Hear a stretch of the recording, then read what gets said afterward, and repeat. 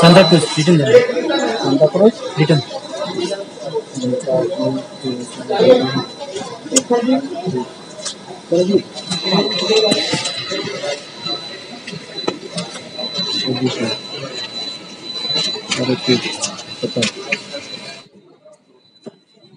तो अभी मैं हूँ शायद स्टेशन पे और यहाँ से हम लोग जा रहे हैं कहीं घूमने के लिए। तो आगे चलकर मैं आपको दिखाता हूँ कि कहाँ पर जाना है। और अभी हमारा टिकट भी तैयार है आप देख सकते हो।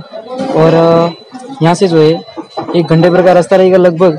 तो हमारी ट्रेन जो है वो अभी ग्यारह पैंतालीस हो चुके हैं और सैंतालीस भी दो मिनट में आने वाली है। तो फिर आगे का नज़ारा मैं दिखाता हूँ कि कहाँ जो हम लोग जाने वाले हैं। तो आप इस वीडियो में लास्ट तक बने रहिए और अगर पसंद आ जाए तो उसको लाइक ज़रूर कर दीजिएगा। और साथ ही चैनल को सब्सक्राइब भी कर दीजिए अगर पहली बार हमारी इस वीडियो को देख रहे हो।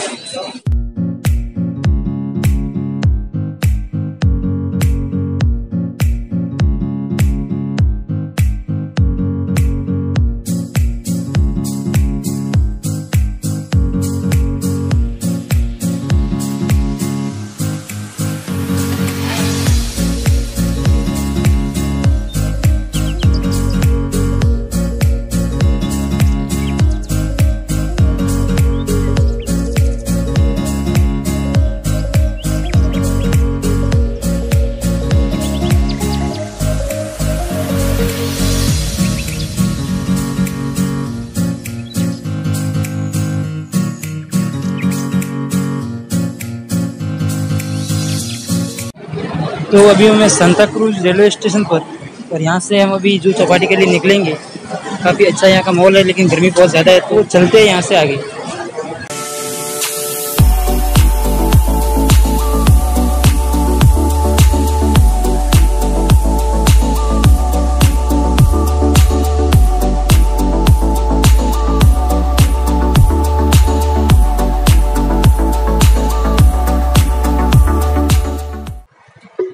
ठीक सर कितना हुआ? Your destination is on the left. चालीस।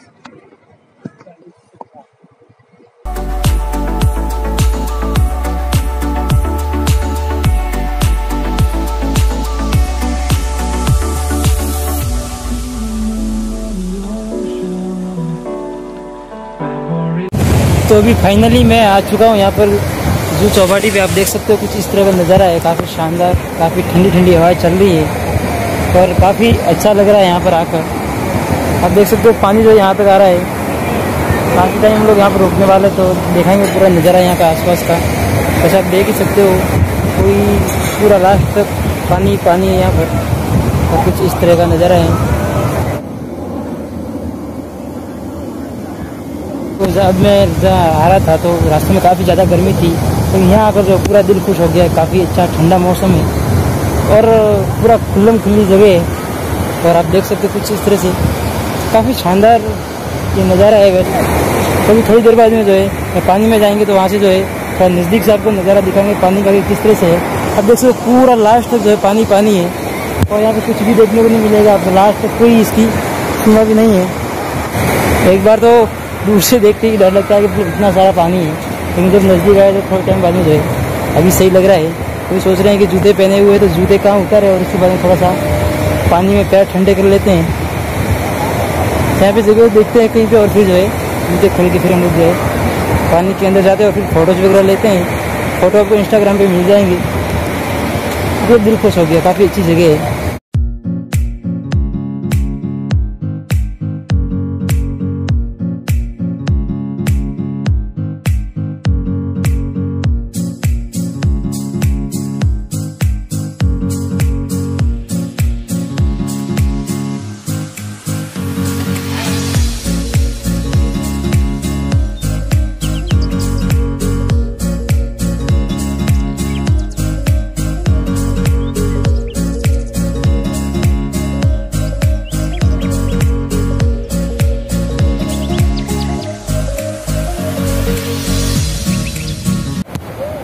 तो यहाँ पर हो क्या रहा है कि जब हम यहाँ पर बैठे हैं मतलब जब यहाँ पानी में खड़े हैं तो यहाँ से जो लहर आ रही है, आप देख सकते हो।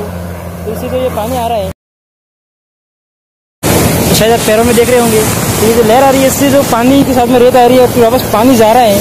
तो ये जो रेत है, वापस पैरों के नीचे से वापस जा रही है। मुझे ऐसा लग रहा है कि हम गिर जाएँगे, लेकिन ऐसा नहीं है। घूमते हुए थोड़ा, पहले पहले स्टार्टिंग में डर भी लग रहा है, लेकिन अभी जो है, काफ़ी टाइम हो गया है तो अभी जो है अच्छा लग रहा है। पानी जो है वो काफ़ी ज़्यादा है यहाँ पर।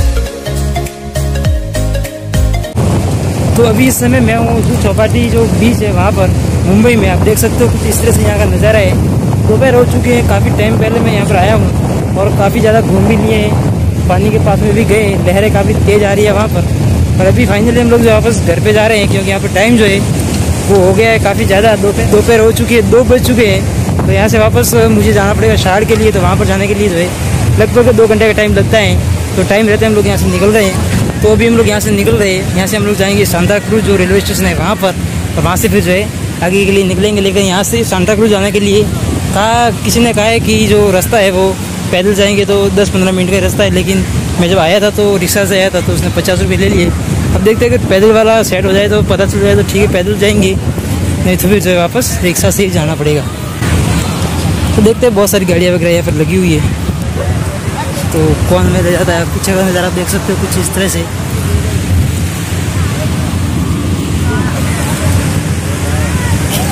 गर्मी अभी यहाँ पर भी बढ़ गई है, क्योंकि दोपहर हो चुकी है।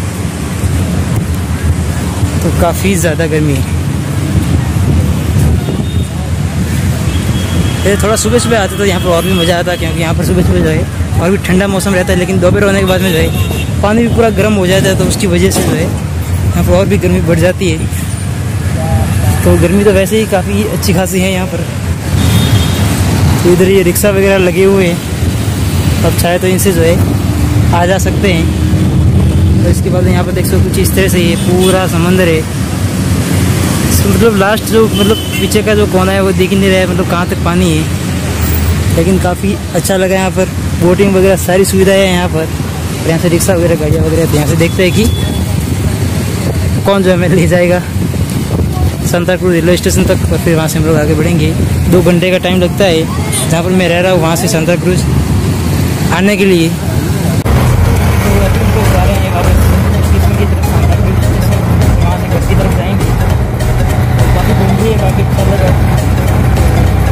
ब्लॉग को हम एंड करते हैं।